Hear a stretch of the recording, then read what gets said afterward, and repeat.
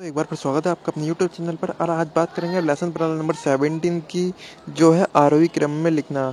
हम कक्षा दो का लेसन प्लान है तो सबसे पहले डाल लीजिए आप डेट जिस डेट में भी आप लेसन प्लान बनाना चाह रहे हैं, उस डेट डाल लीजिए। और कक्षा है? दो चक्र, जो भी आपका चक्र, यानी पीरियड चल रहा हो, वो डाल दीजिए आप और अब अवधि थर्टी मिनट्स और विषय है गणित, ठीक है? तो शुरू करते हैं बिना ज़्यादा टाइम लिए हुए। तो प्रकरण है आज का आरोही क्रम में लिखना। सामान्य उद्देश्य की बात कर लेते हैं। छात्रों में गणित विषय के प्रति रुचि उत्पन्न करना, छात्रों में तार्किक शक्ति का विकास करना दैनिक जीवन में गणित का व्यवहारिक उपयोग बताना, छात्रों को गणित के तथ्यों की जानकारी प्रदान करना, छात्रों में शीघ्रता एवं शुद्धता से गणित के प्रश्नों को हल करने की क्षमता का विकास करना। इसी प्रकार से आपके सारे सामान्य उद्देश्य रहेंगे, जितने भी आपके गणित के लेसन प्लान रहेंगे तो साथ ही आज विशिष्ट उद्देश्य है अपना छात्रों को आरोही क्रम में संख्या बताते हुए उसके महत्व के विषय में बताना।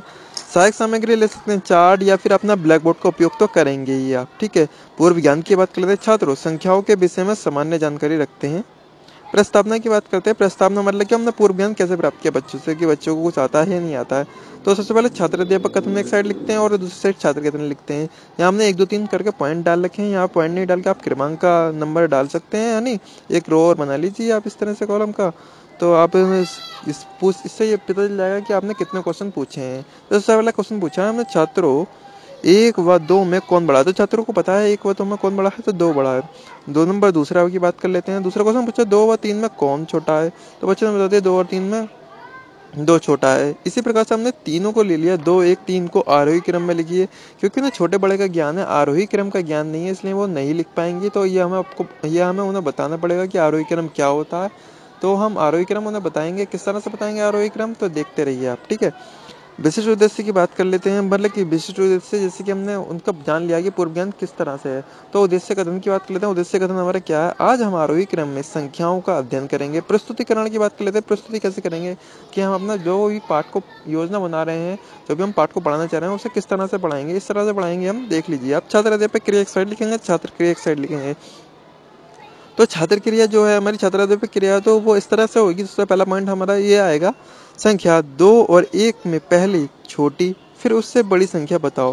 पहले छोटी बच्चों ने बता दी एक, फिर उससे बड़ी बता दी दो। दो, एक, तीन में पहले, छोटी, फिर उससे बड़ी, फिर सबसे बड़ी संख्या बताओ। इस तरह से एक, दो, तीन बच्चों ने बता दिया। ठीक है, फिर तीसरा क्वेश्चन हमने पूछा, दो, एक, तीन, चार को आरोही क्रम में बताओ। बच्चे फिर भी नहीं बता पाए तो यहाँ पर बच्चे समझ नहीं पाए कि आरोही क्रम, क्योंकि हमने डिफाइन नहीं कराया तो स्पष्टीकरण कर लेते हैं। इन्हें डिफाइन कर देते हैं बच्चों को क्या है। संख्याओं को बढ़ते क्रम को आरोही क्रम कहते हैं। पहले सबसे छोटा, फिर बड़ा फिर बड़ा, फिर उससे बड़ा, फिर उससे बड़ा तो ये आरोही क्रम कहलाता है। तो ये बच्चों को समझ में आ जाएगा कि आरोही क्रम क्या है। बढ़ते क्रम में, यानी बढ़ता रहे।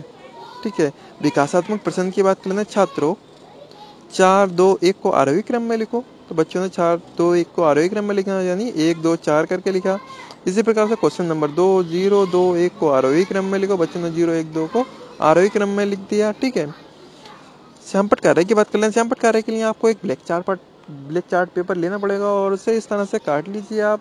जैसा भी आपको अच्छा लगे वैसा काट लीजिए। कटिंग करने के बाद आपको करना क्या है, सबसे ऊपर कॉर्नर पर राइट लेफ़्ट में डालना है आपको डेट और फिर बीच में डाल लीजिए आप विषय और साइड में डाल लीजिए आप में प्रकरण जो भी है आपका और प्रकरण के साथ साथ आप ये भी डाल सकते हैं कि कौन सा पीरियड चल रहा है, ठीक है। और प्रश्न इस तरह से लिखने हैं, जो मैंने आपको लिखवा दिए हैं यहाँ, विकासात्मक प्रश्न में वही लिख सकते हैं। अब यानी आप और कुछ चेंज करना चाहते हैं तो चेंज कर लीजिए।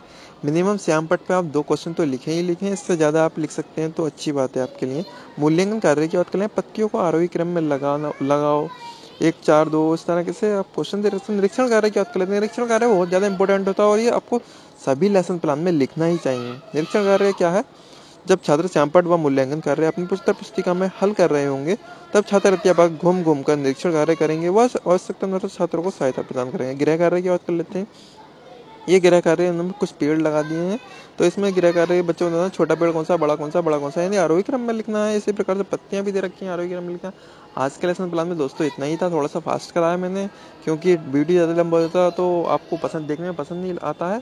तो आपको इसे देखना है तो आप पॉज करके देख लीजिए और साथ ही आपको इसके पीडीएफ चाहिए तो नीचे लिंक दिया हुआ है, उस पर क्लिक कीजिए और साथ ही आपको लिंक से भी कुछ नहीं चाहिए, आपको पीडीएफ चाहिए और आपको सिंपली पे में चाहिए तो आप हम व्हाट्सअप कर सकते हैं। व्हाट्सअप नंबर आपको मिल ही चुका होगा, नहीं मिला है तो आप को मिल जाएगा। ठीक है नीचे डिस्क्रिप्शन बॉक्स है। डिस्क्रिप्शन बॉक्स में आपको मेरा व्हाट्सअप नंबर मिल जाएगा, वहाँ पर आप सिर्फ़ जो भी आपको चाहिए, जिसकी पीडीएफ चाहिए, उसी के बारे में आप सेंड कर दीजिए, मैं आपको सेंड कर दूँगा। ठीक है तो आज की वीडियो में इतना ही था। अगले लेसन प्लान के साथ ज़रूर मिलेंगे। जल्दी मिलेंगे। ठीक है, धन्यवाद दोस्तों।